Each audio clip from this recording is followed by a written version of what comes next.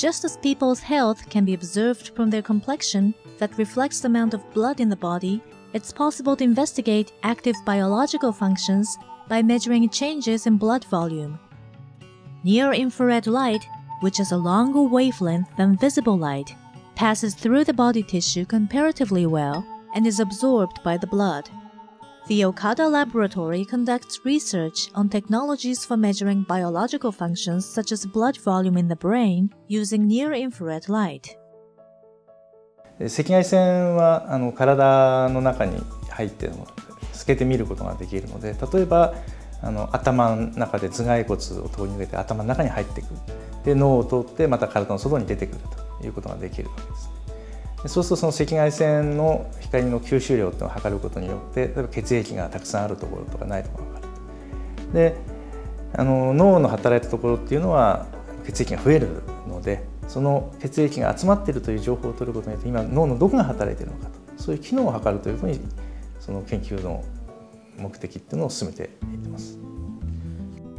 When brain function is measured using light, The light passing through tissues such as bones and skin is scattered before being detected. So the resulting images are blurred. Instead, they resemble views through frosted glass.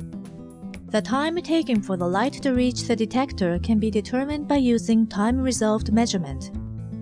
This has the amazingly high temporal resolution of a picosecond, that is one trillionth of a second, making it possible to detect the time of flight of an optical pulse through tissue. In addition, this research requires computer modeling of how light propagates through the head to obtain more precise images. 例えば光が頭の中を20センチ走ってきたっていう情報はわかるわけですけれどもじゃあその20センチどこをどう通ってきたのかと例えばそれが脳を走ってきたのか頭蓋骨を走ってきたのか とまた表面の皮膚を走ってきたのかそれがわからないわけですからそこの部分をモデルをコンピューターの中で作ってあげてそのモデルの中を光が走る様子というのを、ま、シミュレーションで解析することによって、ま、実験と矛盾しないデータというものを作ることでその実際どこを光が走ってきたのかというのを推定してあげるわけです。Brain functions can also be measured using functional MRI, which is widely used in hospitals. But MRI has some limitations. The equipment is very large, and the subject has to retain posture for a long time.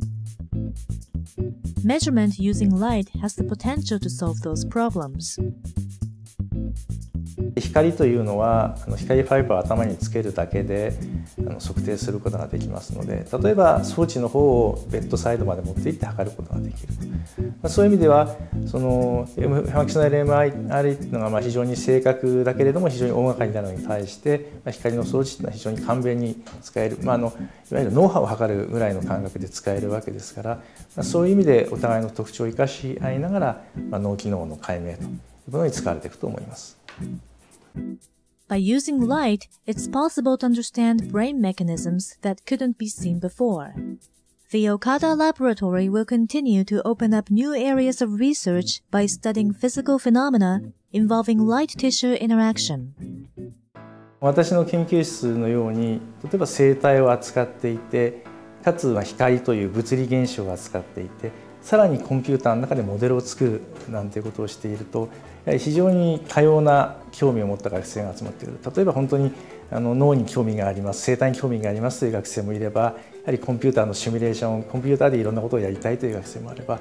はり光っていうものに興味がある学生もいますのでそういう意味ではいろんな興味のある学生が、まあ、かつそのいろんな分野の知識を増やしながら、研究ができるフィールドだと思っています。